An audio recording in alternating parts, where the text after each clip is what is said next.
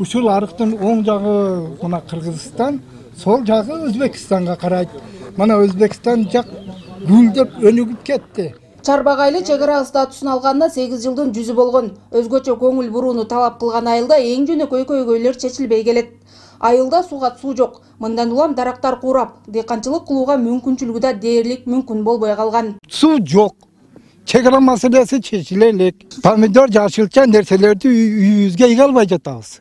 Чындыгында ала албайбыз суу жок да суу болбогондон кийин кантип аны өстүрүп аласың баардык жашоо суу менен туурабы э ошол сууду бизге кантип алып келиштин жолун азыр өкмөттөн суранып атабыз эми азыр ушу көчөдөн төрт семья көчүп кеткениге байланыштуу ал мына границада турган үйлөрдү көрсөтүп коеюн такталбаган чек ара суунун жоктугунан улам айылдан жыйырма эки кожолук туш тарапка көчүп кетүүгө аргасыз болгон учурда бул айылда элүү эки үй бүлө түтүн булатып келет мында калгандар айылдагы көйгөйдү айтып жергиликтүү бийликтин эшигин бир нече жолу каккылашкан бирок али күнгө чейин жыйынтык жок бетте эл аз эле калды көбү шаарга кетип калган балдарыбызды кыздарыбызды бээрге жайлаганыбыз жок да дагы үй куруп жайлайык десек уруш болуп калса дагы булардан кыйналып калат деп башка жака үй салып башка жактан неме кылып үй салып ушул жака бөлүп атабыз күргүттө эле бир жаксаң күйөт азыр мына ушу дарактар полный.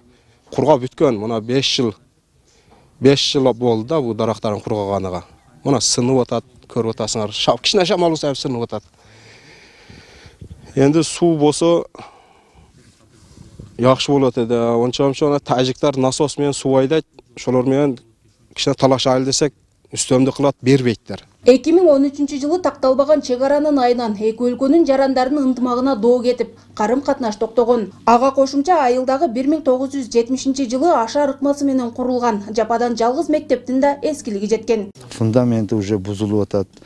Жыгачтары чириген мына эшик терезелери талапка жооп бербейт. Караңгы.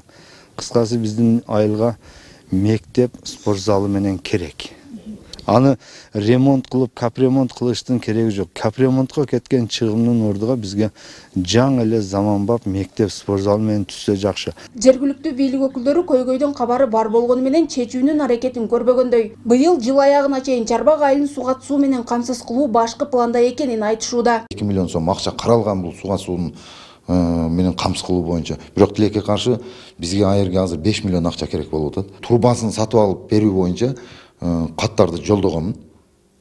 Бирок жобо келе элек келип калса биз ошол эки миллион сомдук акчаны менен кошко кошо биргеликте сууга суу менен камсыз кылабыз.